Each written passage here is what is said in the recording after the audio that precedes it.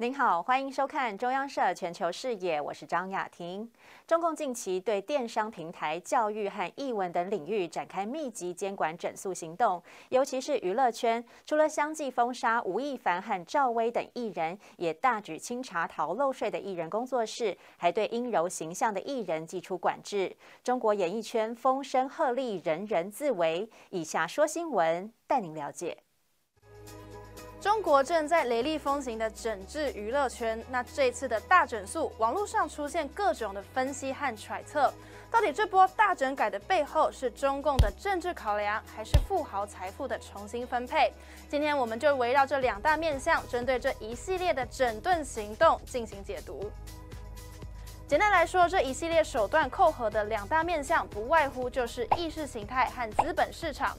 那首先呢，中国官方近期对演艺圈的整治，也就是一系列的清朗行动，列了漏漏等十条限令。其实大致上就是分为针对艺人个人行为，还有粉丝的追星文化的管制。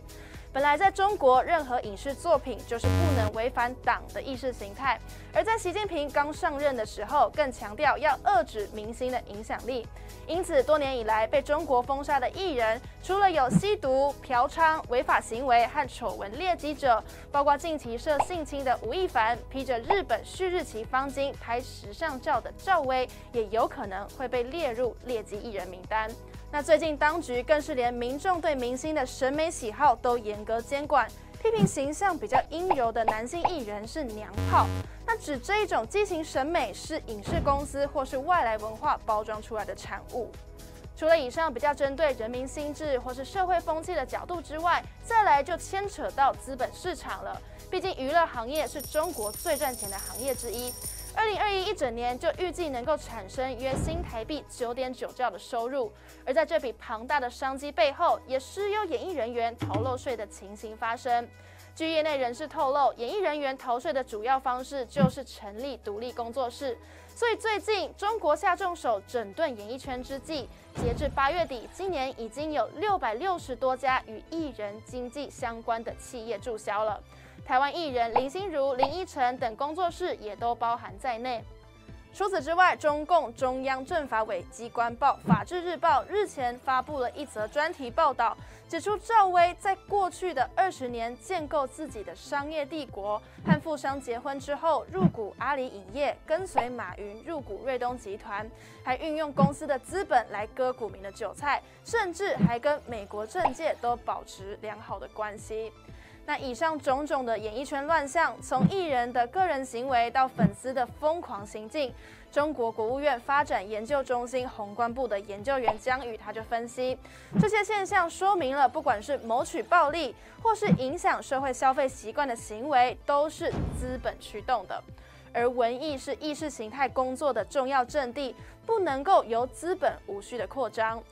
中国国家主席习近平在上个月重申了共同富裕的承诺，强调必须要合理调节过高的收入。那在这样的背景之下，不只是演艺圈，最近中国从经济领域、金融领域、文化领域到政治领域都被官方指明整顿。外媒分析，中国决策层认为，中国经济和文化发展在部分领域的导向已经出现了问题，必须要调整方向。而在当前面临中美博弈的压力，中国大转向的时间已经不多。不过转弯的速度太快，结果也难以预测。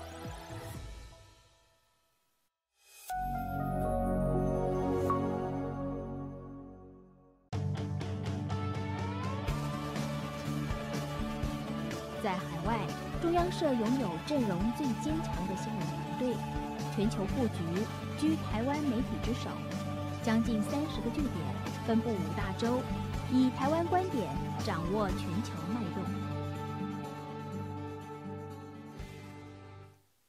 杰出台商在海外奋斗打拼，为台湾打出好口碑。接下来带您看世界台商之光王树木的故事。印刷电路板是许多家用电器不可或缺的元件。台湾业者王树木扎根泰国，在当地打造电路板王国。他为人低调，不仅照顾员工，也默默耕耘做公益，回馈社会。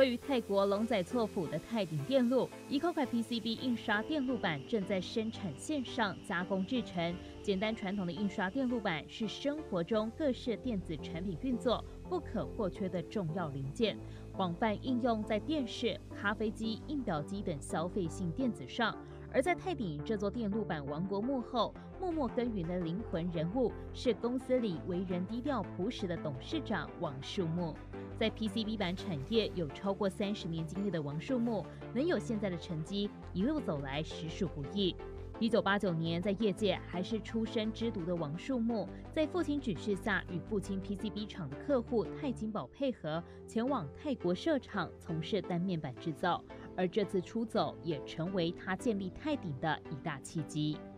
当初来泰国的时候二十九岁，其实没有什么目的性，只是老爸把我丢过来，我就丢过来。然后到了两千年的时候，这个单面板的产业可能可能在泰国是很难发展下去，所以想要做一些转型嘛。那一年呢，很多台湾的 PC 板也都到了中国去了。想起来呢，台湾的工厂当然就存在它未来的危机，所以我跟老爸提议到说，要不就是还要在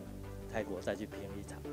当时已在泰国十多年的王树木，面临各地厂商竞争下，凭借对泰国这块土地的熟悉与认同，下定决心选择继续在当地生根。在二零零一年成立泰鼎电路，根基泰国，梦想让泰鼎成为首屈一指的 PCB 板厂。由于我们这边的产业链在非主流，不管是供应端还是需求端，我们都一直处在弱势。但是也因为这样子培养我们，必须要看得比较长、比较远。为了让公司改革，王树木在二零零六年找来现任执行长周瑞祥，引进专业经理人制度，带入严谨高标准的管理模式，希望借这股坚定的外力来推动泰鼎电路转型。事实上，一开始刚来的时候呢，我并没有打算负责这个营运，因为我本身是从 sales marketing 出身的，然后所以当时就来啊，就跟王董谈了一下。那谈的时候呢，感觉就是说，这个人非常的朴实。那当然了，从以前我们那种国际场来看，角度来看，这个厂显得小一点。所以呢，我就想说，哎，那我就是短期，啊，现在就两三年，帮王董 lay out 未来的这个 sales marketing。周瑞祥加入泰鼎后，凭借在前公司累积的经验与专业知识，为这个重人情的家族带来了纪律，并设定具体目标，一步步让泰鼎达到王树木期望的样子。王树木与周瑞祥两人性格相异但互补，在几年的磨合下，共同推动泰鼎团队成功转型。二零一二年增设二厂，订单不乏美日韩等国知名厂牌客户，产品市占率在全球名列前茅。这样辉煌的成绩，也让泰鼎在二零一一年顺利在台上柜，二零一五年在台上市。王树木的人文精神影响着周瑞祥，在执行公司政策上以人为本，寻求员工最大利益也是重要考量之一。虽然没明说，但董事长这种精神是泰鼎全体员工都感受得到的。在社会公益上，泰鼎举办企业慈善捐款，员工热心捐血。提供盲人按摩工作机会等，并捐助生活用品与学校单位、医疗基金会及当地寺庙。泰鼎员工在工作之余也乐于回馈社会，形成一个良善循环。谢谢，那么各位都是各行各业的成功经营的典范，再次感谢大家。荣获磐石奖的同时，泰鼎的三厂已开始动工，持续扩大产能。经过二三十年来的重重考验，王树木将继续在泰国这第二个家努力，稳扎稳打，揭开泰鼎王国的下一章节。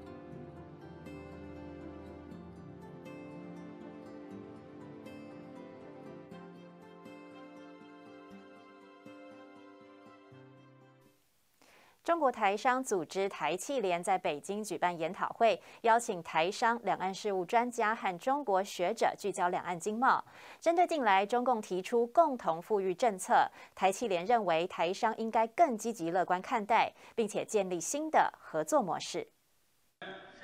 中国大陆台商组织台气联日前在北京邀集台商代表、台湾两岸事务专家及中国学者，举办现场及视讯结合的研讨会。大陆正在谋求把我们的国家跟社会资源引领到培养大量的中小企业以及优秀的工程师，发展实体经济，保有自己的核心科技等等的啊这个方向。所以我们台商呢也应该要。把握这个机遇哦，参与这个新格局的发展。针对近来中共提出的第三次分配共同富裕，引发部分台商对政策的担忧。台企联会长李正宏认为，台商应该更积极乐观看待这项政策。那我们应该要等正式的这个政策呃去实施了以后呢，那大家能够呃尽我们所能，能够呃把这个慈善的事业，把大家呢一起共同能够过美好生活的这样的一个愿望呢，能够实现起来。李正宏也指出，等共同富裕具体新政策出炉后，台商可能会逐渐成立自己的慈善基金会，希望借此对扶贫帮困等社会公益事业能走向正规化、常规化，进而形成比较好的社会氛围，缩短中国大陆贫富差距，达到共同富裕的效果。庄社记邱国强北京报道。感谢您的收看，我们在华视频道和中央社网站都有播出。我是张雅婷，我们再会。